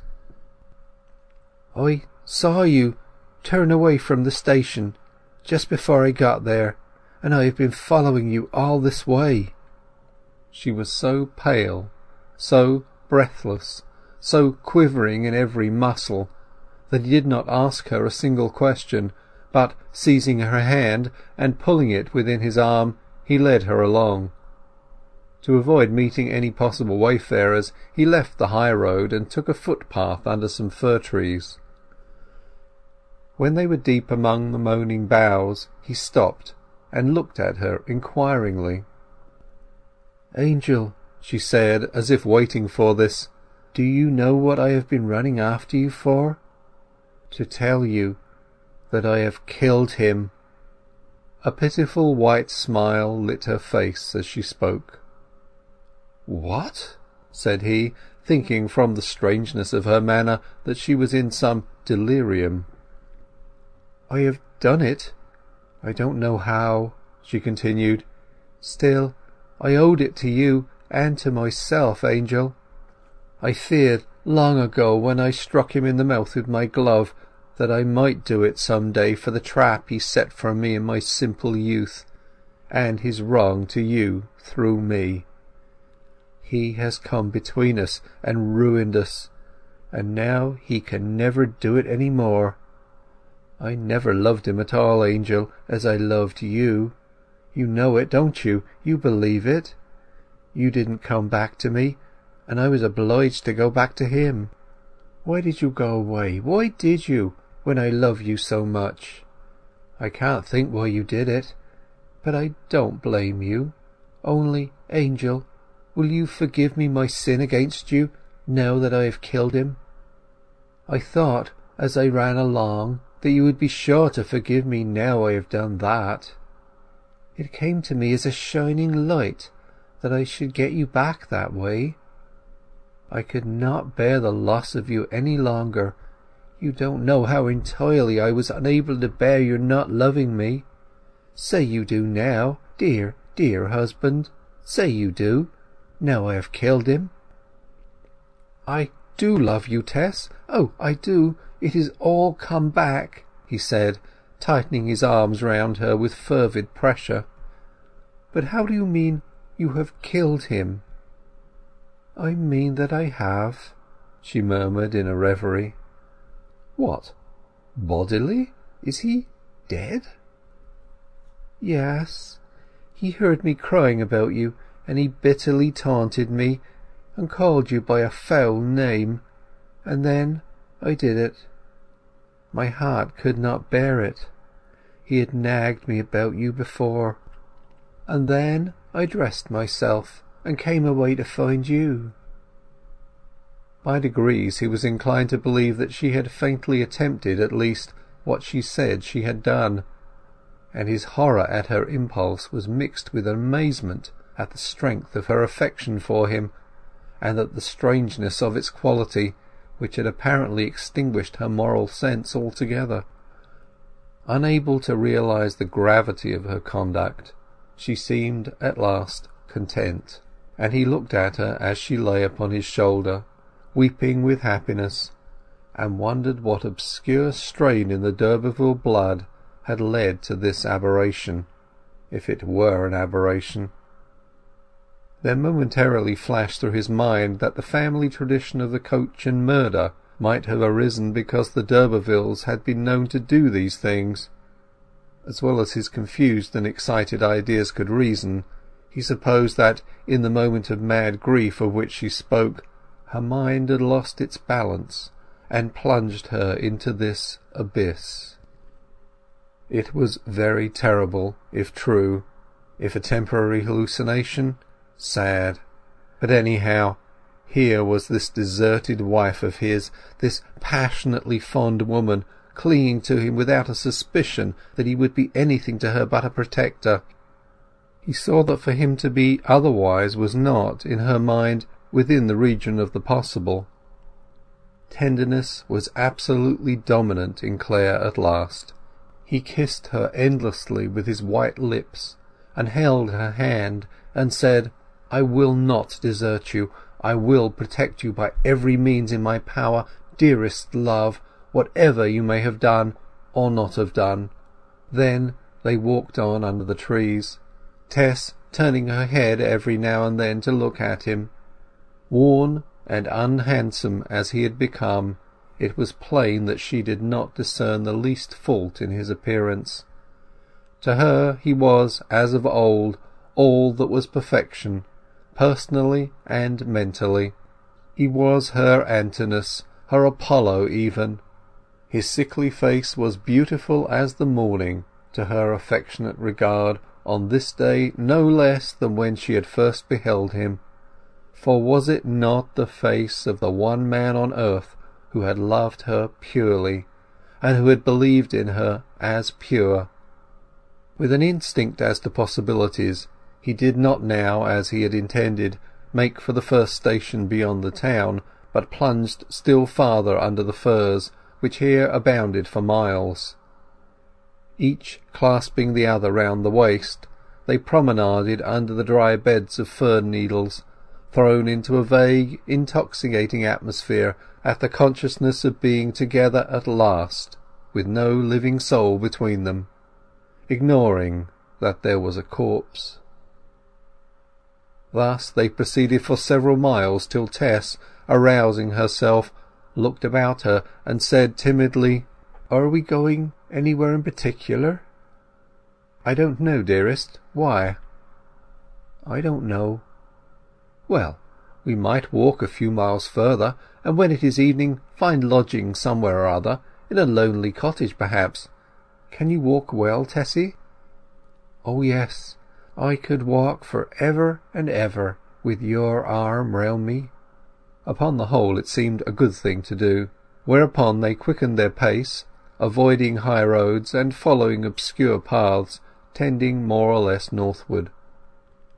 But there was an unpractical vagueness in their movements throughout the day. Neither one of them seemed to consider any question of effectual escape, disguise, or long concealment. Their every idea was temporary and unforefending, like the plans of two children. At midday they drew near to a roadside inn, and Tess would have entered it with him to get something to eat, but he persuaded her to remain among the trees and bushes of this half woodland, half moorland part of the country till he should come back. Her clothes were of recent fashion; even the ivory-handled parasol that she carried was of a shape unknown in the retired spot to which they had now wandered, and the cut of such articles would have attracted attention in the settle of a tavern. He soon returned with food enough for half a dozen people and two bottles of wine, enough to last them for a day or more, should any emergency arise. They sat down upon some dead boughs and shared their meal. Between one and two o'clock they packed up the remainder and went on again. "I feel strong enough to walk any distance," said she. "I think we may as well steer in a general way towards the interior of the country where we can hide for a while, and are less likely to be looked for than anywhere near the coast," Clare remarked. "Later on, when they have forgotten us, we can make for some port." She made no reply to this beyond that of grasping him more tightly, and straight inland they went. Though the season was an English May, the weather was serenely bright, and during the afternoon it was quite warm. Through the latter miles of their walk their footpath had taken them into the depths of the New Forest, and towards evening, turning the corner of a lane, they perceived behind a brook and a bridge a large board on which was painted in white letters, "This desirable mansion to be let furnished," particulars following, with directions to apply to some London agents. Passing through the gate they could see the house, an old brick building of regular design and large accommodation. "I know it," said Clare. "It's Bramshurst Court. You can see that it's shut up, and grass is growing on the drive." "Some of the windows are open," said Tess. "Just to air the rooms, I suppose." "All these rooms empty, and we without a roof to our heads." "You are getting tired, my Tess," he said. "We'll stop soon." And kissing her sad mouth he again led her onwards. He was growing weary likewise, for they had wandered a dozen or fifteen miles, and it became necessary to consider what they should do for rest. They looked from afar at isolated cottages and little inns, and were inclined to approach one of the latter, when their hearts failed them, and they sheered off. At length their gait dragged, and they stood still. "Could we sleep under the trees?" she asked. He thought the season insufficiently advanced. "I have been thinking of that empty mansion we passed," he said. "Let us go back towards it again." They retraced their steps, but it was half an hour before they stood without the entry gate as earlier. He then requested her to stay where she was, whilst he went to see who was within. She sat down among the bushes within the gate, and Clare crept towards the house. His absence lasted for some considerable time, and when he returned Tess was wildly anxious, not for herself, but for him. He found out from a boy that there was only an old woman in charge as caretaker, and that she only came there on fine days, from the hamlet near, to open and shut the windows.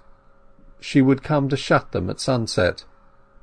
"Now we can get in through one of the lower windows and rest there," said he. Under his escort she went tardily forward to the main front, whose shuttered windows, like sightless eyeballs, excluded the possibility of watchers. The door was reached a few steps further, and one of the windows beside it was open. Clare clambered in, and pulled Tess in after him. Except the hall, the rooms were all in darkness, and they ascended the staircase. Up here also the shutters were tightly closed, the ventilation being perfunctorily done, for this day at least, by opening the hall window in front and an upper window behind. Clare unlatched the door of a large chamber, felt his way across it, and parted the shutters to the width of two or three inches. A shaft of dazzling sunlight glanced into the room, revealing heavy old-fashioned furniture, crimson damask hangings, and an enormous four-post bedstead, along the head of which were carved running figures, apparently Atalanta's race. "Rest at last," said he, setting down his bag and the parcel of viands. They remained in great quietness till the caretaker should have come to shut the windows, as a precaution putting themselves in total darkness by barring the shutters as before, lest the woman should open the door of their chamber for any casual reason. Between six and seven o'clock she came, but did not approach the wing they were in. She heard her close the windows, fasten them, lock the door, and go away. Then Clare again stole a chink of light from the window, and they shared another meal, till by and by they were enveloped in the shades of night which they had no candle to disperse. End of chapter 57 Tess of the d'Urbervilles by Thomas Hardy Chapter 58 The night was strangely solemn and still. In the small hours she whispered to him the whole story of how he had walked in his sleep with her in his arms across the Froom stream, at the imminent risk of both their lives, and laid her down in the stone coffin at the ruined abbey. He had never known of that till now. "Why didn't you tell me the next day?" he said. "It might have prevented much misunderstanding and woe." "Don't think of what's past," said she. "I'm not going to think outside of now. Why should we? Who knows what to-morrow has in store?" But it apparently had no sorrow. The morning was wet and foggy, and Clare, rightly informed that the caretaker only opened the windows on fine days, ventured to creep out of their chamber and explore the house, leaving Tess asleep. There was no food on the premises, but there was water, and he took advantage of the fog to emerge from the mansion and fetch tea, bread and butter from a shop in a little place two miles beyond, and also a small tin kettle and spirit lamp, that they might get fire without smoke. His re-entry woke her, and they breakfasted on what he had brought. They were indisposed to stir abroad, and the day passed, and the night following, and the next, and next, till, almost without their being aware, five days had slipped by in absolute seclusion, not a sight or sound of a human being disturbing their peacefulness, such as it was. The changes of the weather were their only events, the birds of the New Forest their only company. By tacit consent they hardly once spoke of any incident of the past subsequent to their wedding day. The gloomy intervening time seemed to sink into chaos, over which the present and prior times closed as if it had never been. Whenever he suggested they should leave their shelter and go forwards towards Southampton or London, she showed a strange unwillingness to move. "Why should we put an end to all that's sweet and lovely?" she deprecated. "What must come will come." And looking through the shutter clink, "All is trouble outside there. Inside here, content." He peeped outside also. It was quite true. Within was affection union, error forgiven; outside was the inexorable. "And, and," she said, pressing her cheek against his, "I fear that what you think of me now may not last. I do not wish to outlive your present feeling for me. I would rather not. I would rather be dead and buried when the time comes for you to despise me, so that it may never be known to me that you despised me. I cannot ever despise you. I also hope that, but considering what my life has been, I cannot see why any man should sooner or later be able to help despising me. How wickedly mad I was! Yet formerly I never could bear to hurt a fly or a worm, and the sight of a bird in a cage used often to make me cry. They remained yet another day. In the night the dull sky cleared, and the result was that the old caretaker at the cottage awoke early. The brilliant sunrise made her unusually brisk. She decided to open the contiguous mansion immediately, and to air it thoroughly on such a day. Thus it occurred that, having arrived and opened the lower rooms before six o'clock, she ascended to the bedchambers, and was about to turn the handle of the one wherein they lay. At that moment she fancied she could hear the breathing of persons within. Her slippers and her antiquity had rendered her progress a noiseless one so far, and she made for instant retreat. Then, deeming that her hearing might have deceived her, she turned anew to the door, and softly tried the handle. The lock was out of order, but a piece of furniture had been moved forward on the inside, which prevented her opening the door more than an inch or two. A stream of morning light through the shutter chink fell upon the faces of the pair, wrapped in profound slumber, Tess's lips being parted like a half-opened flower near his cheek. The caretaker was so struck with their innocent appearance, and with the elegance of Tess's gown hanging across a chair, her silk stockings beside it, the pretty parasol, and the other habits in which she had arrived because she had none else, that her first indignation at the effrontery of tramps and vagabonds gave way to a momentary sentimentality over this genteel elopement, as it seemed. She closed the door, and withdrew as softly as she had come, to go and consult with her neighbours on the odd discovery. Not more than a minute had elapsed after her withdrawal when Tess awoke, and then Clare. Both had a sense that something had disturbed them, though they could not say what, and the uneasy feeling which it engendered grew stronger. As soon as he was dressed he narrowly scanned the lawn through the two or three inches of shutter chink. "I think we will leave at once," said he. It is a fine day, and I cannot help fancying somebody is about the house. At any rate, the woman will be sure to come to-day. She passively assented, and putting the room in order, they took up the few articles that belonged to them, and departed noiselessly. When they had got into the forest she turned to take a last look at the house. "Oh, happy house, good-bye," she said. My life can only be a question of a few weeks. Why should we not have stayed there? Don't say it, Tess. We shall soon get out of this district altogether. We'll continue our course as we've begun it, and keep straight north. Nobody will think of looking for us there. We shall be looked for at the Wessex ports, if we are sought at all. When we are in the north, we will get to a port and away. Thus having persuaded her, the plan was pursued, and they kept a bee-line northward. Their long repose at the manor house lent them walking power now, and towards midday they found that they were approaching the steepled city of Melchester, which lay directly in their way. He decided to rest her in a clump of trees during the afternoon, and push onward under the cover of darkness.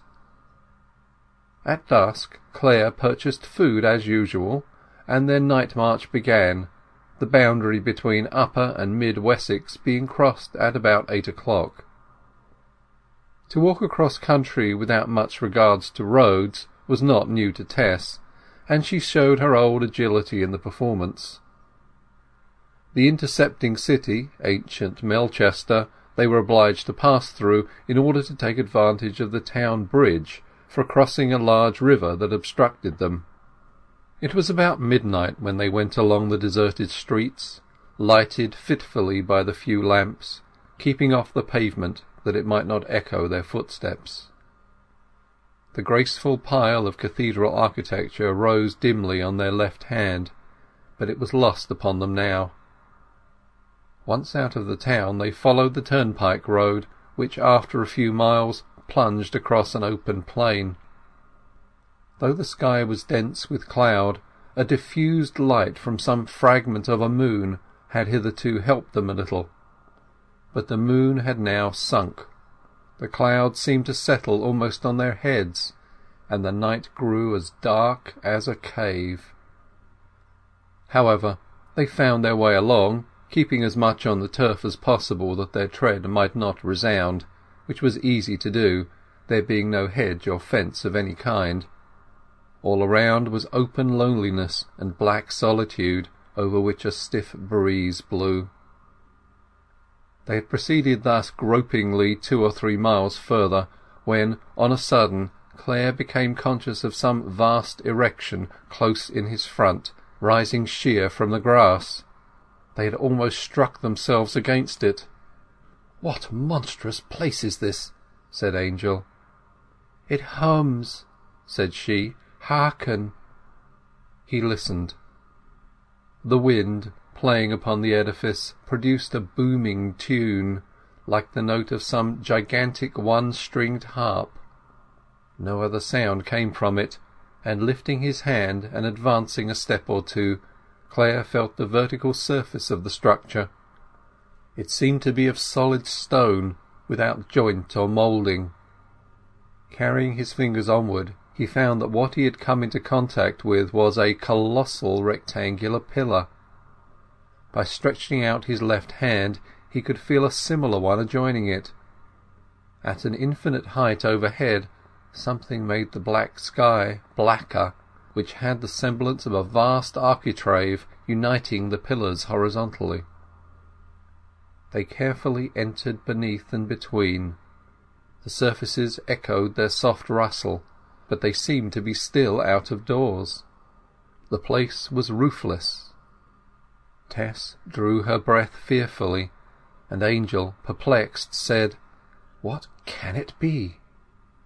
Feeling sideways they encountered another tower-like pillar, square and uncompromising as the first. Beyond it another and another. The place was all doors and pillars, some connected above by continuous architraves. "A very Temple of the Winds," he said. The next pillar was isolated. Others composed a trilithon. Others were prostrate, their flanks forming a causeway wide enough for a carriage, and it was soon obvious that they made up a forest of monoliths grouped upon the grassy expanse of the plain. The couple advanced further into this pavilion of the night till they stood in its midst. "It is Stonehenge," said Clare. "The heathen temple, you mean?" "Yes. Older than the centuries, older than the d'Urbervilles. Well, what shall we do, darling? We may find shelter further on."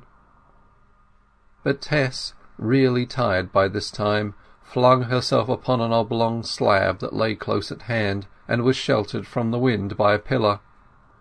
Owing to the action of the sun during the preceding day, the stone was warm and dry, in comforting contrast to the rough and chill grass around, which had dampened her skirts and shoes. "I don't want to go any further, Angel," she said, stretching out her hand for his. "Can't we bide here?" "I fear not. This spot is visible for miles by day, though it does not seem so now." "One of my mother's people was a shepherd's hereabout, now I think of it, and you used to say at Talbothays that I was a heathen. So now I am at home." He knelt down beside her outstretched form, and put his lips upon hers. "Sleepy, are you, dear? I think you are lying on an altar." "I like very much to be here," she murmured. "It is so solemn and lonely, after my great happiness, with nothing but the sky above my face. It seems as if there were no folk in the world but we two, and I wish there were not, not, 'cept 'Liza Lu." Clare thought she might as well rest here till it should get a little lighter, and he flung his overcoat upon her and sat down by her side. "Angel, if anything happens to me, will you watch over Lu for my sake?" she asked, when they had listened a long time to the wind among the pillars. "I will." "She is so good and simple and pure. O Angel, I wish you would marry her if you lose me, as you will do shortly. Oh, if you would!" "If I lose you, I lose all, and she is my sister-in-law." "That's nothing, dearest. People marry sister-laws continually about Marlott, and 'Liza Lu is so gentle and sweet, and she is growing so beautiful. Oh, I could share you with her willingly when we are spirits. If you would train her and teach her, Angel, and bring her up for your own self. She had all the best of me, without the bad of me, and if she were to become yours, it would almost seem as if death had not divided us. Well, I have said it. I won't mention it again." She ceased, and he fell into thought. In the far north-east sky he could see between the pillars a level streak of light. The uniform concavity of black cloud was lifting bodily like the lid of a pot, letting in at the earth's edge the coming day, against which the towering monoliths and trilithons began to be blackly defined. "Did they sacrifice to God here?" asked she. "No," said he. "Who to?" "I believe to the sun. That lofty stone set away by itself is in the direction of the sun, which will presently rise behind it." "This reminds me, dear," she said. "You remember you never would interfere with any belief of mine before we were married, and I knew your mind all the same, and thought as you thought, not from any reasons of my own, but because you thought so. Tell me now, Angel, do you think we shall meet again after we are dead? I want to know." He kissed her to avoid a reply at such a time. "Oh, Angel, I fear that means no," said she, with a surprised sob. "And I wanted so to see you again, so much, so much! What, not even you and I, Angel, who love each other so well?" Like a greater than himself, to the critical question at the critical time he did not answer, and they were again silent. In a minute or two her breathing became more regular, her clasp of his hand relaxed, and she fell asleep. The band of silver paleness along the east horizon made even the distant parts of the great plain appear dark and near, and the whole enormous landscape bore that impress of reserve, taciturnity, and hesitation which is usual just before day. The eastward pillars and their architraves stood up blackly against the light, and the great flame-shaped sunstone beyond them, and the stone of sacrifice midway. Presently the night wind died out, and the quivering little pools in the cup-like hollows of the stones lay still. At the same time something seemed to move on the verge of the dip eastward, a mere dot. It was the head of a man approaching them from the hollow beyond the sunstone. Clare wished they had gone onwards, but in the circumstances decided to remain quiet. The figure came straight towards the circle of pillars in which they were. He heard something behind him, the brush of feet. Turning, he saw over the prostrate columns another figure. Then, before he was aware, another was at hand on the right, under a trilithon, and another on the left. The dawn shone full on the front of the man westward, and Clare could discern from this that he was tall, and walked as if trained. They all closed in with evident purpose. Her story, then, was true. Springing to his feet, he looked around for a weapon, loose stone, means of escape, anything, but this time the nearest man was upon him. "It is no use, sir," he said. "There is sixteen of us on the plain, and the whole country is reared." "Let her finish her sleep," he implored in a whisper of the men as they gathered round. When they saw where she lay, which they had not done till then, they showed no objection, and stood watching her, as still as the pillars around. He went to the stone and bent over her, holding one poor little hand. Her breathing now was quick and small, like that of a lesser creature than a woman. All waited in the growing light, their hands and faces as if they were silvered, the remainder of their figures dark. The stones glistened green-grey, the plain still a mass of shade. Soon the light was strong, and a ray shone upon her unconscious form, peering under her eyelids and waking her. "What is it, Angel?" She said, starting up. "Have they come for me?" "Yes, dearest," he said, "they have come." "It is as it should be," she murmured. "Angel, I am almost glad, yes, glad. This happiness could not have lasted. It was too much. I have had enough. And now I shall not live for you to despise me." She stood up, shook herself, and went forward, neither of the men having moved. "I'm ready," she said quietly. End of chapter 58 Chapter 59 The city of Wintoncester, that fine old city, aforetime capital of Wessex, lay amidst its convex and concave downlands in all the brightness and warmth of a July morning. The gabled brick, tile, and freestone houses had almost dried off for the season their integument of lichen, the streams in the meadows were low, and in the sloping High Street, from the West Gate to the mediaeval cross, from the mediaeval cross to the bridge, that leisurely dusting and sweeping was in progress which usually ushers in an old-fashioned market day. From the western gate aforesaid, the highway, as every Wintoncestrian knows, ascends a long and regular incline of the exact length of a measured mile, leaving the houses gradually behind. Up this road, from the precincts of the city, two persons were walking rapidly, as if unconscious of the trying ascent, unconscious through preoccupation, though not through buoyancy.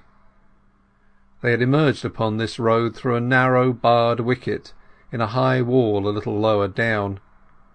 They seemed anxious to get out of sight of the houses and of their kind, and this road appeared to offer the quickest means of doing so. Though they were young, they walked with bowed heads, which gait of grief the sun's rays smiled on pitilessly. One of the pair was Angel Clare, the other a tall, budding creature, half girl, half woman, a spiritualized image of Tess, slighter than she, but with the same beautiful eyes, Clare's sister-in-law, Liza Lu. Their pale faces seemed to have shrunk to half their natural size. They moved on, hand in hand, and never spoke a word, the drooping of their heads being that of Giotto's two apostles. When they had nearly reached the top of the great west hill, the clocks in the town struck eight. Each gave a start at the notes, and, walking onward yet a few steps, they reached the first milestone, standing whitely on the green margin of the grass, backed by the down, which here was open to the road. They entered upon the turf, and, impelled by a force that seemed to overrule their will, suddenly stood still, turned, and waited in paralysed suspense beside the stone. The prospect from this summit was almost unlimited. In the valley beneath lay the city they had just left, its more prominent buildings showing, as in an isometric drawing, among them the broad cathedral tower, with its Norman windows and immense length of aisle and nave, the spires of St Thomas's, the pinnacled tower of the college, and, more to the right, the tower and gables of the ancient hospice, where to this day the pilgrim may receive his dole of bread and ale. Behind the city swept the rotund upland of St Catherine's Hill. Further off, landscape beyond landscape, till the horizon was lost in the radiance of the sun hanging above it. Against these far stretches of country rose, in front of the other city edifices, a large red brick building with level grey roofs and rows of short barred windows bespeaking captivity, the whole contrasting greatly in its formalism with the quaint irregularities of the Gothic erections. It was somewhat disguised from the road in passing it by yews and evergreen oaks, but it was visible enough up here. The wicket from which the pair had lately emerged was in the wall of this structure. From the middle of the building an ugly, flat-topped, octagonal tower ascended against the east horizon, and viewed from this spot, on its shady side and against the light, it seemed to be the one blot on the city's beauty. Yet it was with this blot, and not with the beauty, that the two gazers were concerned. Upon the cornice of the tower a tall staff was fixed. Their eyes were riveted on it. A few minutes after the hour had struck, something moved slowly up the staff, and extended itself upon the breeze. It was a black flag Justice was done.